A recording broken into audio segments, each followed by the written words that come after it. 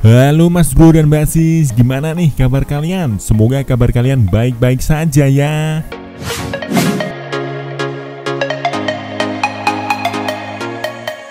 Dalam jendela transfer tidak hanya mendatangkan pemain baru ke klub, namun juga menjual pemain yang dinilai tidak cocok dengan klub. Banyak klub menginginkan pemain bintang untuk memperkuat tim, namun terkadang ada juga pemain bintang yang dinilai kurang cocok dengan klub. Karena hal ini, mereka berusaha dijual oleh klub. Nah, kali ini Tidur di Hutan mau membahas 5 bintang yang dipaksa hengkang di musim panas 2019. Yuk mari kita bahas. Ceki Bro.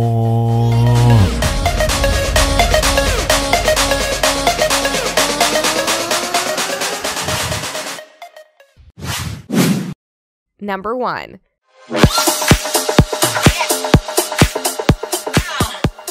Yang pertama ada Gareth Bale. Zinedine Zidane tidak pernah menyukai Gareth Bale. Ia melihat Bale sebagai pemain yang tidak konsisten dan hanya menerima bayaran tinggi tanpa memberikan kontribusi. Zidane sudah berusaha melepas Bale pada periode pertamanya menangani Real Madrid. Namun Bale bersikeras bertahan. Kondisi yang sama terjadi pada musim panas 2019. Zidane sedang menunggu klub yang berminat kepada Bale.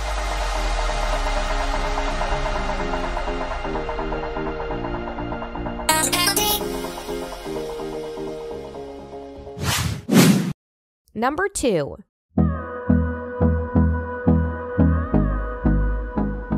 Yang kedua ada Gonzalo Higuain. Dia terbuang dari Juventus setelah kedatangan Cristiano Ronaldo pada musim panas 2018. Ia menjalani masa peminjaman di AC Milan dan Chelsea pada musim 2018-2019. Namun Chelsea memutuskan untuk tidak menebus Higuain. Pemain asal Argentina itu kembali ke Juventus tanpa masa depan yang pasti. Juventus berusaha untuk melepas Higuain, namun pemain tersebut menolak untuk hengkang. Saat ini, Higuain masih memiliki kontrak di Juventus hingga Juni 2021. Wastelands through the highways till my shadow turns to sun rays and on and on we'll go. Number 3.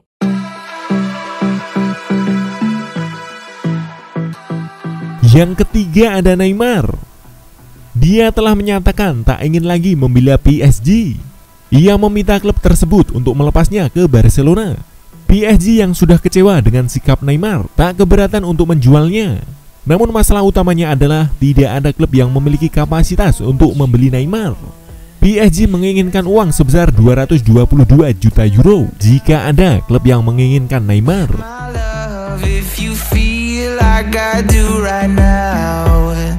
Don't say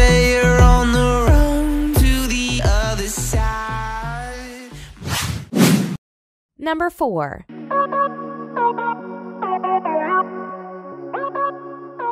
Yang keempat ada Mauro Icardi.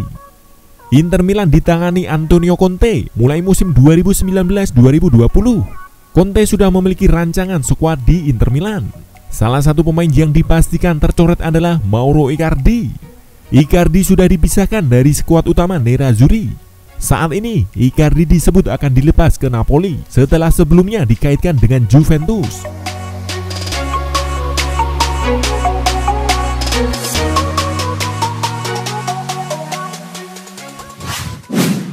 Number 5.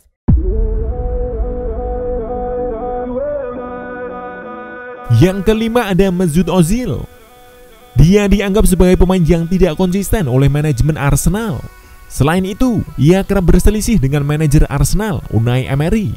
Kondisi itu membuat Ozil masuk dalam daftar jual. Jika The Gunners berhasil menjual Ozil, mereka tentu bisa mendapatkan dana segar untuk menambah budget transfer Arsenal yang terbatas pada bursa transfer musim panas 2019.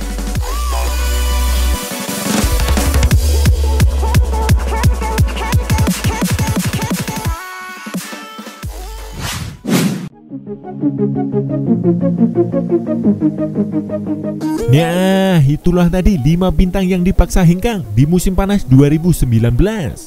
Terima kasih ya telah menyaksikan video ini. Semoga video ini bermanfaat untuk kalian semua.